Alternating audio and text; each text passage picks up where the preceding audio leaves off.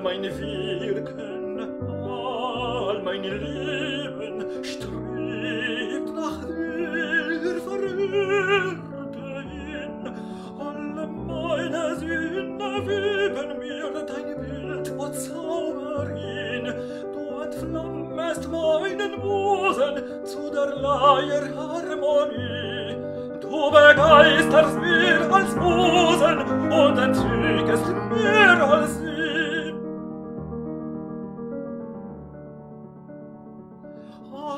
blaues Auge strahlet durch den Sturm der Seele mild, und dein süßes Lächeln malet rosig mir der Zukunft wild.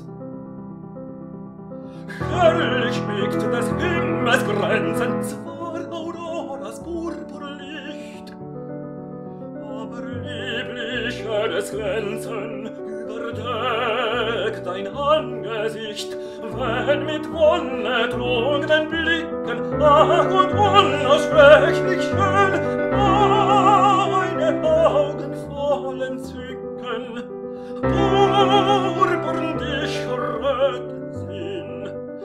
Herrlich wiegt des Himmels Grenzen, zwar Auroras purpurlicht, aber lieblicher es